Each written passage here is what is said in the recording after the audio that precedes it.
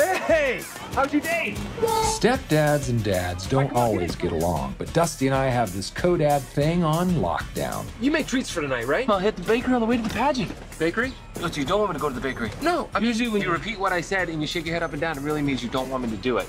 I'm just thinking, What? maybe homemade? No problem, Ratty. Homemade snickerdoodles coming right up. Hey! Hogan Rugan, you better count your teeth! Thank you so much for the cocoa.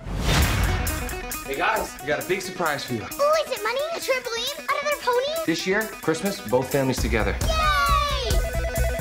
Hello? Grandpa Kurt? Look, your father hasn't met the new evolved Dusty. That's exactly the stuff he's gonna make fun of us for. You'll see. Dear God. Wow. Is that him? Dress is so cool. Yet I can't picture him actually going shopping. Dusty. Here you go. Bring the car around on the curb.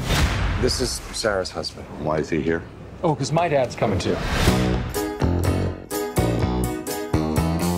Dad! Daddy! Here's my big man!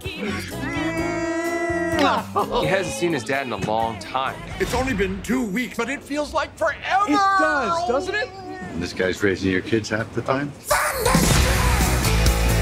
Look who's here!